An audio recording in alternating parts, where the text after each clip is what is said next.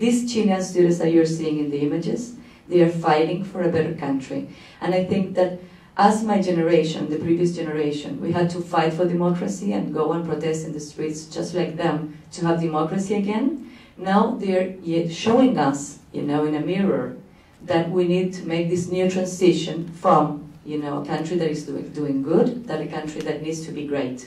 First of all, 132 became much more than a student movement. It became about everybody speaking out their voices and basically wanting to take, once again, our, our this creation of symbols into our own hands. It also became about how you hack a system that has been an, such a present monopoly in Mexico for so long.